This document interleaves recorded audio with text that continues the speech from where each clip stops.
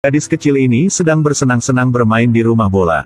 Sang ibu terus memperhatikan putrinya tanpa mengalihkan pandangan darinya. Tapi baru selesai omong. Tiba-tiba ada sebuah mobil mainan menabrak kaki dia. Sang ibu baru lihat ke bawah. Mengubah hidup mereka, ibu dan anaknya. Tunggu dia untuk berbalik dan melihat rumah bola. Anaknya sudah hilang. Sang ibu langsung datang untuk mencari. Sambil memanggil nama anak Lucy. Tapi tidak ada yang jawab. Sekarang sang ibu mulai khawatir. Suasana di taman hiburan menjadi tegang. Ketika staf tahu ada anak hilang, langsung tutup pintunya. Orang di tempat kejadian baru saja mengalami situasi ini. Semua menjadi bingung dan takut. Sekarang polisi Horatio dengan tim KSI datang. Polisi di toilet menemukan tubuh Lucy. Horatio segera tutup tempat kejadian. Tidak ada yang diizinkan pergi sampai pembunuhnya ditemukan. Dari tempat mandi bola sampai toilet. Si pembunuh harus melalui arcade dan food court. Ada banyak pemain di sini. Bagaimana tersangka bisa melakukannya? Dengan cepat bawa Lucy ke toilet seperti itu. Sekarang di tempat ini adalah lebih dari 50 orang. Yang berarti 50 orang ini adalah tersangka. Jadi Horatio membagi tim ke tiga jalur. Satu tim akan ambil sidik jari semua orang. Satu tim untuk menjaga ketertiban dan Horatio bawa staf ke tempat mayat. Lihat dari dekat TKP. Sekitar anak lima tahun ini. Hasil deteksi di sekitar Lucy adalah partikel bercahaya fluoresen. Berpakaian seperti anak laki-laki. Ada Hansaplas di tangan. Rambut juga dipotong sedikit. Sepertinya si pembunuh sedang menyamarkan dia. Dengan jelas tersangka ingin bawa anak ini keluar. Tidak ada niat untuk membunuh dia di tempat ini. Horatio berpikir kemungkinan tersangka mendengar suara peringatan. Baru memutuskan untuk membunuh gadis kecil di sini. Ketika Horatio dan rekan sedang memeriksa TKP, sekelompok wartawan tiba di tempat kejadian. Pelaporan dan bantu investigasi. Tapi di depan semua orang. Mereka hanya ada waktu adalah 48 jam. Jika udah selesai 48 jam harus membuka pintu. Kesulitan punya kasus ini akan menjadi lebih sulit lagi. Tidak lama kemudian dalam 50 orang ada yang ingin melawan. Polisi datang untuk menghibur mereka. Satu sisi sedang ambil sirik jarinya.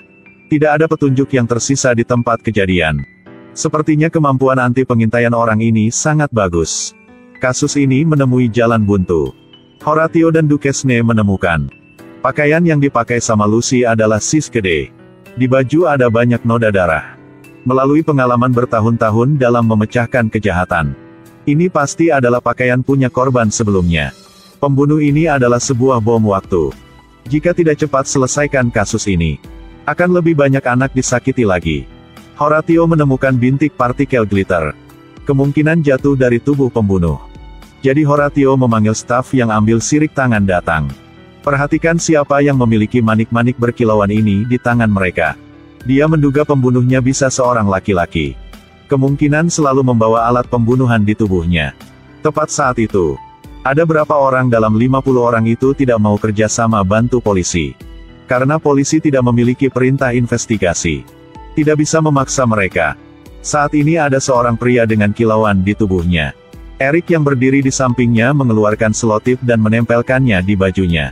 Apakah orang ini adalah pembunuh Lucy? Seorang gadis kecil seumur lima tahun terbunuh di dalam toilet. Horatio sedang mencoba untuk memecahkan kasus ini. Pelaku saat kejahatan, bagaimana memastikan tidak ada yang pergi ke toilet. Sekarang dia melihat ke tanda, tidak boleh masuk. Dia dengan cepat memanggil staf ambil sirik tangan. Dan pembunuh bisa bawa anak ini ke toilet. Kunting rambut dan ganti pakaian. Tapi anak ini tidak menangis. Mungkin seorang kenalan yang melakukan kejahatan. Atau orang yang anak ini bisa percaya.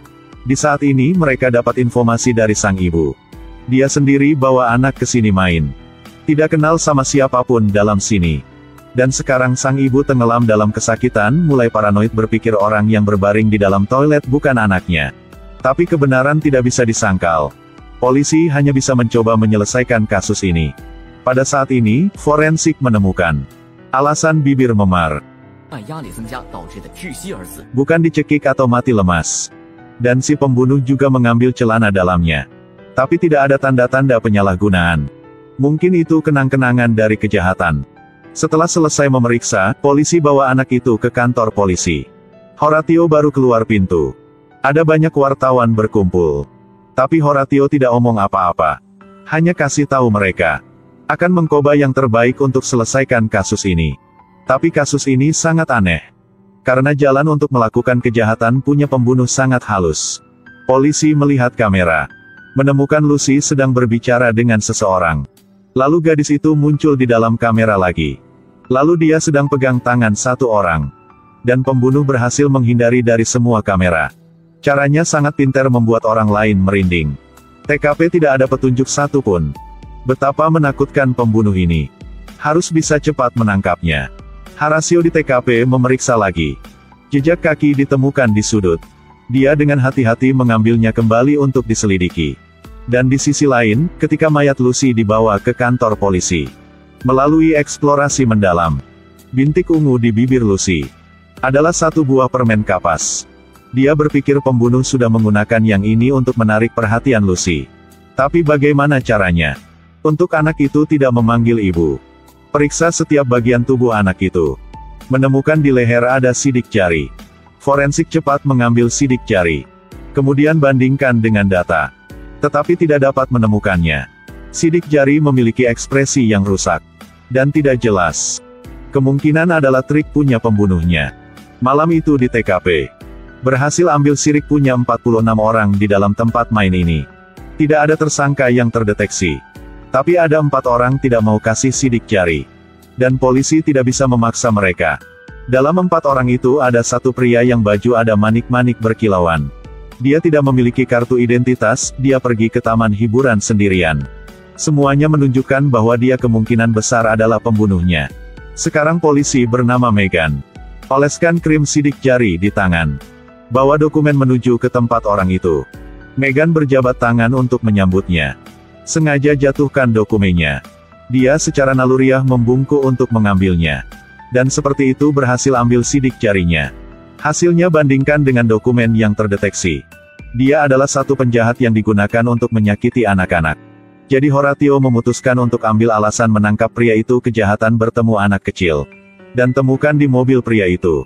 Satu koper yang bisa muatkan satu anak kecil. Lalu dia dibawa kantor polisi. Tapi dia menyangkal segalanya. Memberitahu semua kejahatan sebelumnya adalah istri dia yang melakukan. Tapi dia bilang tidak ada yang percaya. Polisi wanita juga menemukan di kamera. Ketika kasus ini terjadi dia berdiri di satu sudut. Tidak ada niat ingin menghindari kameranya dan tidak punya waktu untuk melakukan kejahatan. Tapi Horatio khawatir dia akan melakukan kejahatan lagi menahannya dengan pembebasan bersyarat. Tapi di sini polisi mengambil sidik jari pada tanda peringatan. Melalui tes deteksi. Seperti di leher anak itu tidak lengkap. Sibuk sepanjang hari. Horatio dengan rekan tidak menemukan petunjuk apa pun. Kasusnya menjadi buntu lagi. Menjadi semakin sulit. Forensik lembur sepanjang malam. Meriksa tubuh gadis kecil itu menemukan. Ada 5-6 tulang yang patah di sebelah kanan. Menemukan marshmallow yang gadis kecil itu makan. Mengandung bahan sedatif. Seperti kata-kata Ibu Lucy. Sebelum gadis kecil itu pergi main ada minum obat antiinflamasi. Menggunakan keduanya akan menyebabkan anafilaksis. Pernapasan akan berhenti. Dan pembunuh tidak tahu masalah ini. Melakukan pernapasan untuk gadis itu. Hasil dari penggunaan kekuatan yang berlebihan. Membuat tulang punya anak itu patah. Meninggal karena paru-paru tertusuk dan Horatio tidak menemukan pentunjuk yang berguna. Di bawah terlalu banyak tekanan. Tidak ada yang bisa istirahat. Terus selidiki di mana-mana. Yang petunjuknya disimpan di tempat kejadian. Hanya jejak kaki dan sidik jari yang tidak lengkap. Tapi Horatio menyadari bahwa jejak kaki si pembunuh tidak terlihat seperti orang normal. Tumitnya sepertinya menekan lebih kuat. Jelas sengaja memakai sepatu sis besar. Horatio bawa rekan. Ikuti jejak kaki ke belakang tempat main itu. Sepertinya pembunuh sudah melarikan diri. Horatio hanya bisa memberi perintah kepada polisi. Ambil sampel tanah kembali untuk diperiksa. Di laboratorium temukan lagi. Di baju punya staf tempat itu ada-ada manik-manik glitter. Kemungkinan gadis itu terlalu percaya pada orangnya. Tidak menangis. Kemungkinan gadis kecil itu melihat pembunuh. Adalah staf dari tempat itu. Horatio dengan cepat menelepon pemiliknya. Dia menegaskan dirinya sendiri, tidak mempekerjakan seseorang dengan catatan kriminal. Tapi kode pintu belakang. Masih tertulis di meja kerja dia. Tidak menyangka menjadi jalan untuk pembunuh melarikan diri. Pemilik menjadi menyesal. Jadi siapa pembunuh sebenarnya? Tidak ada pilihan lain Horatio memutuskan. Mengumpulkan sidik jari. Butuh kesabaran staf. Untuk dapat dengan cepat menyelesaikan kasus ini. Polisi hanya bisa lembur untuk terus bekerja. Akhirnya berhasil pencocokan sidik jari lengkap. Melalui perbandingan dokumen. Pemilik sidik jari ini dari seseorang pria bernama Stuart Otis. Menurut catatan, dia berusia 20 tahun dengan catatan kriminal. Sekarang hanya perlu mencari pria itu. Tapi saat menyelidiki satu kali, akhirnya tidak menemukan informasi apa. Horatio berpikir bahwa dia sudah mengganti sidik jarinya. Kemungkinan sudah ganti nama juga. Dan sekarang penyidik juga membawa sampel tanah pada tapak untuk pengujian. Ada telur walet. Ini mempersempit jangkauan hidup si pembunuh. Karena walet hanya ada di pusat kota. Endingnya polisi mengikuti semua orang yang ada di tempat ini. Menemukan seorang pria bernama Margaret Otis. Mendapatkan alamat dia juga. Jadi polisi langsung bergerak. Mengepung kompleks tersangka. Ketika mereka masuk ke kamar itu, tidak ada tersangka yang ditemukan. Tapi di meja ada banyak gambar punya anak kecil. Di bawah meja juga ada banyak sepatu punya anak kecil. Di dinding ada banyak foto anak-anak juga. Di tempat buku ada banyak rekam video. Melihat semua gambar ini, semua orang menjadi marah dan sakit hati. Gambar yang ada di situ adalah anak-anak yang hilang sampai saat itu belum bisa temukan. Wanita forensik menemukan tanda reflektif di sofa. Di lemari ada banyak baju punya taman-taman hiburan. Lalu polisi menemukan banyak mayat di taman. Ada anak yang baru 3-4 minggu. Baru melihat sudah mau patah hati. Untuk tidak ada anak kecil menjadi korban lagi. Polisi harus cepat menemukan pembunuhnya. Polisi melalui pakaian punya korban. Permen kapas yang belum dipanaskan ditemukan. Horatio berpikir kemungkinan pembunuh adalah penjual permen atau siper.